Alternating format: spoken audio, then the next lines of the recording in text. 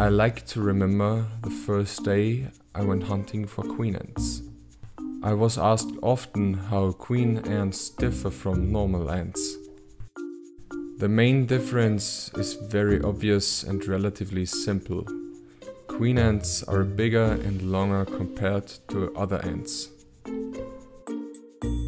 In general, I would like to show you in this picture in which body regions or body parts an ant can be subdivided. I differentiate between three rough areas.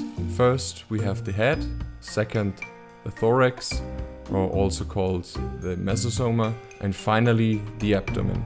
If you compare the body structure of a queen with the one of a worker, you quickly realize that the thorax or mesosoma is much larger than the one of a worker.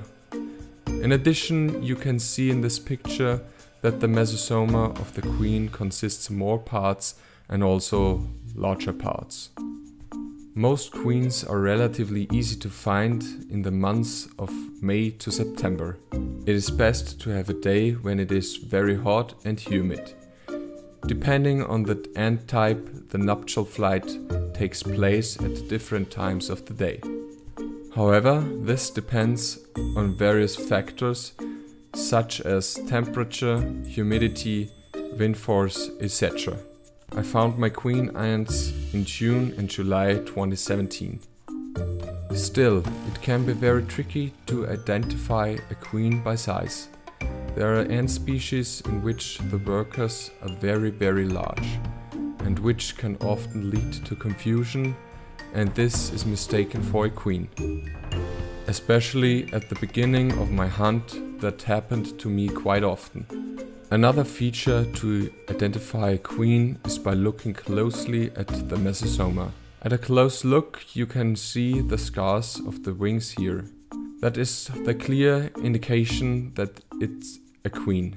So, once you have caught a queen, look at her mesosoma to see if it's big enough and if she has the prominent scars on her back.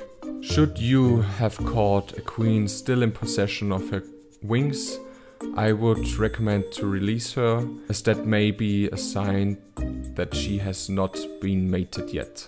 It could also be a male ant.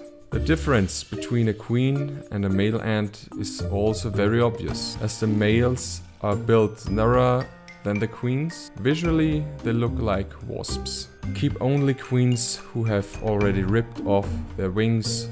Please pay attention to their scars. If you're still unsure whether it is a queen, you can put it in a test tube and let it stay there for a few days. If you're lucky and have caught a queen, she will start laying eggs after only few days. However, if you're unlucky and haven't caught a queen, she will die in a few days. Another less meaningful sign to recognize a queen is that queens often have a larger abdomen than workers. This may be appropriate for some species, but it is not a secure identifier. Especially if you are still a novice in ant keeping, it can be difficult to identify queens or even find them. My personal experience is that you acquire the necessary experience yourself over time. Step by step you will know better and know what to look for. Just try to catch a queen ant, learning by doing. In the worst case, you are wrong and the ant dies in a test tube. But if you are successful, then she lays eggs after only a few days. You can also take advantage of the internet to take a look at some pictures of the caught queen ant. Thus, the identification can be significantly simplified. In addition, you can determine if it is queen or not. Especially at the beginning of ant keeping, I can highly recommend it. With my Camponotus queen, it was not hard to recognize her as a queen ant because of her size. I was very sure about her. It was more difficult to identify my fire ant queen as she is relatively small and as a newcomer I did not recognize the typical characteristics. Only when I saw her scars on the thorax with the help of a magnifying glass, I could see that this is a queen.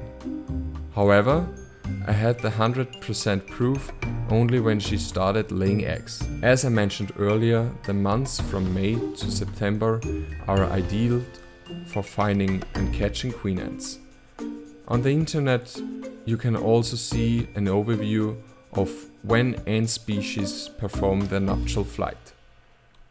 There's also a link in the description of my video.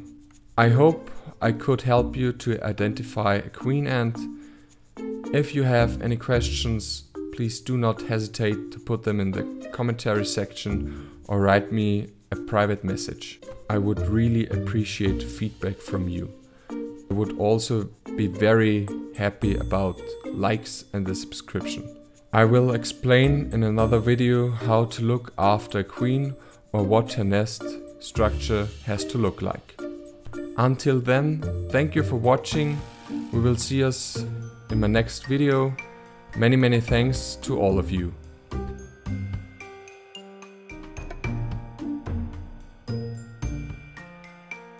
Hello guys, I'm Ants Austria and this is my first video in English.